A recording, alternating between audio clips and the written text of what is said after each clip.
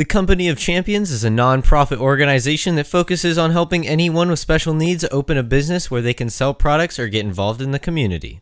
It's we just have a love for it because we've lived it. Kelsey's 45, has several disabilities, and um, she had we used to keep count 54 surgeries. That's a lot on Kelsey, on mom, on the family, and so. Um, we want to give back and be there for the families that if they have a child in need or at the hospital or one that's had a breakdown of some sort.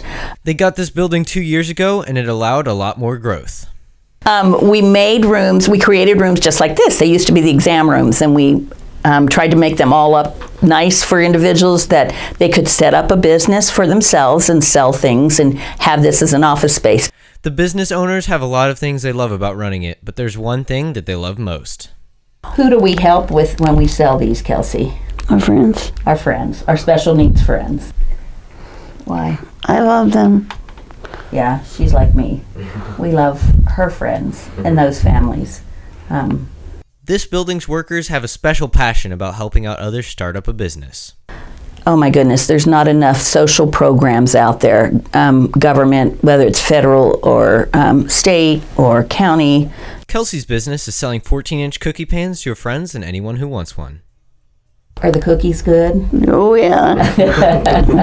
we could not find a pan that had the quality of what we'd been using for years. Mm-hmm. And so what we decided is we went to the company that used to make them and asked them to start remanufacturing them. If you want a cookie pan for yourself, all you have to do is go to Etsy.com and look up Kelsey's Cookie Pans. I promise you, they'll make the best cookie cakes you've ever had. The Company of Champions is down on 7 Highway, and anything you can do to support them would help their cause. Whether it be buying a cookie pan, or donating a basket, or maybe even filling a position they've been looking for like a hairdresser. And I'll say, those cookie pans make excellent cookie cakes, and the money for the cookie pans goes straight to donations for their cause.